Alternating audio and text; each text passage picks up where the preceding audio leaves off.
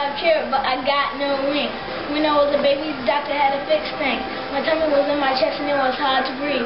Doctor put it all back in his way, fixed me. Vote for chairs.